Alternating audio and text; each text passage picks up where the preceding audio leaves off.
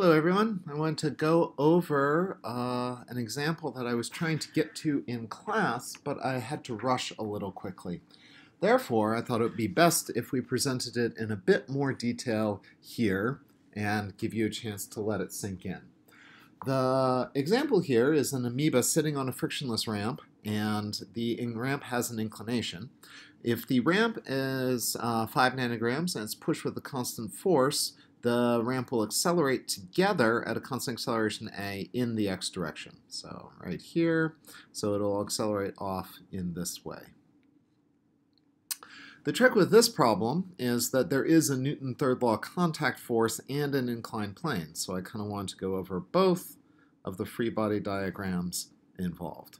For the amoeba, there's a contact force from the ramp going off in that direction, and there's a weight coming down going in that direction. And so the mass of the amoeba times the force of gravity goes down, and then there's this contact force. Let's be formal about it and call it the normal force exerted by the ramp on the amoeba. Now the question comes, if this is my x-axis here, what is the angle theta? Here's my y-axis, and I need to project this into uh, that coordinate system. If we extended the ramp line on down in this direction, and we formed a triangle, this would be the angle given in the problem as theta. From here, we can march up. This is uh, the alternate interior angles of parallel lines. This is a right angle, so this is 90 degrees minus theta. And this is also a right angle, so that must be the angle theta as given in the problem.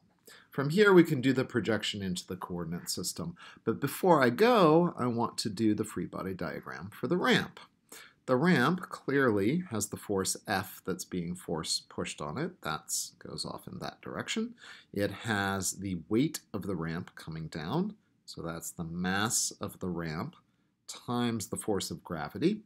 Then we have a normal force from the Earth exerted on the ramp. And then finally, we have the equal and opposite force of the ramp on the amoeba uh, that goes off in this direction. So that's equal and opposite. And it's the normal force exerted by the amoeba on the ramp. So much like the example uh, that we did with the two blocks, the normal force in magnitude from the amoeba on the ramp is equal to the normal force of the ramp on the amoeba, and again, magnitude. From here, uh, again, we have the angle theta in this projection is right here. That's just the same uh, reasoning we did in class for the projection of the uh, the normal or the normal force uh, into or the weight into the uh, coordinate system along and parallel to the ramp. But here what we'll do is we'll make the projection going the other way and bring the uh, normal force into that. So next, according to the system, we write down F equals ma in both directions. So for the amoeba, the uh, projection here gives us that the sum of the forces in the x direction is equal to the normal force of the ramp on the amoeba times the, well, it's got to be this component up here.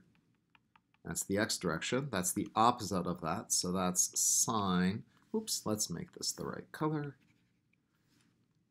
That's going to be sine theta and there's no other forces going in this plus x direction as specified, so that must be the mass of the amoeba times the acceleration in the x direction. The sum of the forces in the y direction is going to be this component here, so that's going to be the n ramp amoeba uh, times the cosine of theta on that direction. And so that is equal to n r a cos theta. So that's the going up direction. MAG is going down, so that's M mass of the amoeba times G. is going down, and this amoeba isn't moving up or down the ramp. That's the whole point of this accelerating together, so we set that to be 0. And that looks like it's going to be useful information. We're going to do the same thing for the ramp. Let's set up in the x-coordinate first, so the sum of the forces in the x-coordinate is going to be, well, there's this F, that's the first one. It's going in the plus x direction. Then we have this normal force from the amoeba on the ramp pushing back in the other direction. So we can do the decomposition. Uh, this is going to be the normal force of the amoeba on the ramp times the cosine.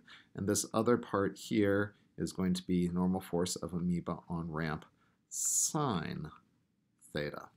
And you can see that that is the one, it's going off in the negative x direction. So we're going to use that, woo, we're going to totally use the ink color and say minus normal force of the amoeba on the ramp sine theta. And those are the forces that are going to push the ramp to the right at acceleration a. Finally, we get the sum of the forces in the y direction, and this secretly doesn't matter um, because all it tells us is the normal force of the Earth relative to the other components. Uh, but for completeness sake, this is minus NAR cos theta. A cosine uh, minus M ramp times G. Okay, this is the end of the physics. At this point, we can roll on down and do some algebra, recalling what we need to work on. So here, we're going to start out, let's give these equations some numbers. We're going to start out with equation 1, 2, and then we're going to use 3. We don't need this other equation, so uh, the sum of the forces in the y direction on the ramp uh, isn't so useful. So we're going to start out with equation 2. And from there, we're going to say we can solve this and figure out that n time, ramp times amoeba cos theta is equal to mass of the amoeba times g. Uh, so I'm pushing the mass of the amoeba times g over, and then I can solve for what the magnitude of that contact force is by dividing both sides by cos theta. So m a g over cosine theta. Okay, so that's pretty useful. And at this point, we're going to use that information in equation 1. So if we go to equation 1, what we'll see is we're going to take the NRA and plug this in. So this becomes uh, NRA sine theta, just copy over, uh, is equal to ma times the acceleration.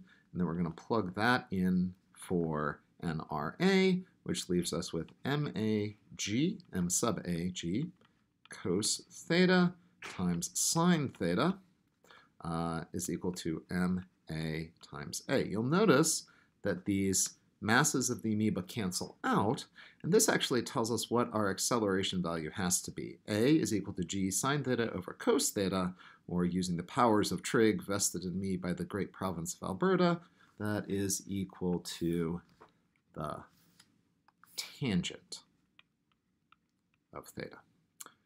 All right, at this point we know what the accelerations are, and from this point we can go ahead and solve for what the forces have to be.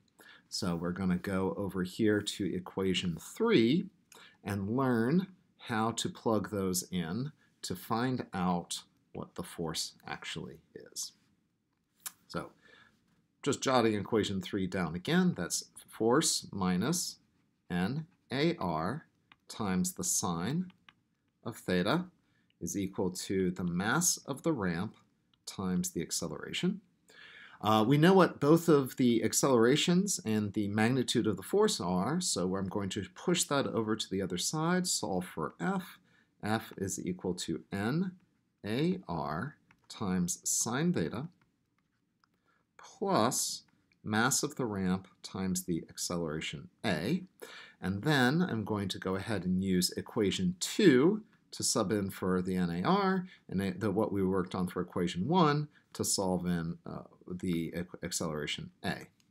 So if we do that, then we get that F is equal to MAG over sine theta over cos theta. That's a cos theta up there. MA G over cos theta times this sine theta here, sine theta, plus mass of the ramp times the acceleration, which is g tan theta.